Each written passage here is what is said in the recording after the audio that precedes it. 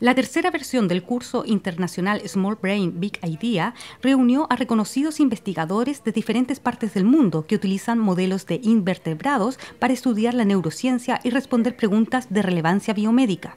Así lo explicó el doctor John Ewer, investigador del Centro Interdisciplinario de Neurociencia de la Universidad de Valparaíso, entidad organizadora del evento junto al Instituto de Neurociencia Biomédica de la Universidad de Chile, la Universidad de Massachusetts de Estados Unidos y la Universidad Mayor. Y este, la tercera versión del curso, lo hacemos cada dos años. Es súper entretenido, vienen profesores de todas partes y hacemos clases y laboratorio. Así que para enseñarle a personas de Latinoamérica a usar estos sistemas modelos que son muy potentes para la investigación biomédica en general. El nivel de la ciencia en Valparaíso Santiago es muy alto, al igual que la motivación mostrada por los alumnos. Me llevo una muy buena impresión y estoy disfrutando la experiencia aquí. Nos permite comparar, porque dije que eran dos, pero eran tres, un poco el estado de arte en distintos eh, organismos, que todos ellos abocados en entender esto, cómo funciona el cerebro.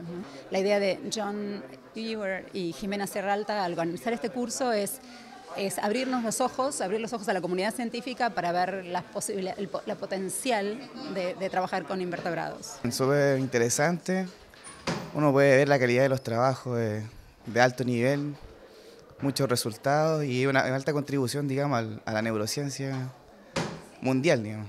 Bueno, actualiza, ¿cierto? Todos los conocimientos que uno tiene y además te permite establecer un contacto, digamos, con los investigadores que eh, son de alto nivel, digamos, no, son los investigadores que uno lee los papers y que uno encuentra que tienen una investigación bastante rica, interesante y uno los puede ver acá en vivo, conversar con ellos y discutir los resultados también.